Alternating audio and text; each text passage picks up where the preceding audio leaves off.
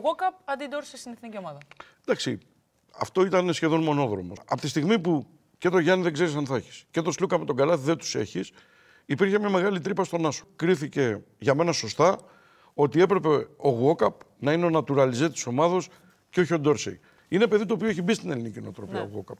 Είναι ένας Είναι gentleman. φιλό, φιλότιμος, ακολουθεί το πλάνο του προπονητή μας, το έδειξε και με τον Ολυμπιακό. Στο κομμάτι της διαχείρισης έδειξε ότι μπορεί να σταθεί. Ξεκινούσε στον Ολυμπιακό, είχε ένα πολύ μεγάλο ρόλο, διαχειριζόταν τις καταστάσεις. Έκανε πολύ λίγα λάθη σε σχέση με το πόσο είχε την μπάλα στα χέρια του και νομίζω ότι έχει αφομοιωθεί ο ίδιος από την, ε, από την ελληνική πραγματικότητα στο μπάσκετ. Οπότε θεωρεί τον εαυτό του ε, ότι είναι μέλος της εθνικής Της ομάδας. παρέας, Της ας πούμε. παρέας.